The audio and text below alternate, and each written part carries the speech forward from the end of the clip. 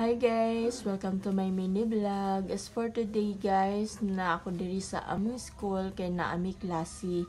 So 3pm na ni ng hapon guys no kay mao ang among schedule. Mao dining amo ang room sa Comlab 2. As you can see mura kog nagluya diha magsabot guys kay di jud lali mag understand aning programming kung libog ka mas libog ni gamay sayo malitanan Maradyo kong mawadan og gumoy diha og saon pagsabot aning programming guys. As you can see, naglibog yun ko or akong utok nagko.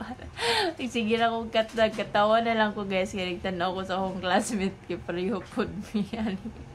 And anyway, mo na siya guys. Nag-typing na ko sa code and then trying hard na mag-execute on ta and yes, co-recover naman nag-execute kay nagpatabang and I hope sa mga gusto mag-IT and ma-inspire po mo kay 4 days guys um kani siya useful yun ni karon nga panahon nga kani nga kurso kay ngano daghan na karon ang online tapos more on technology na punta karon nga panahon So anyway, gigutom gyud ko diha guys. So buti na lang na ako'y napalit sa bus nga budbud 10 pesos. So mo na akong gikan gikaon while nag-lecture si Sir.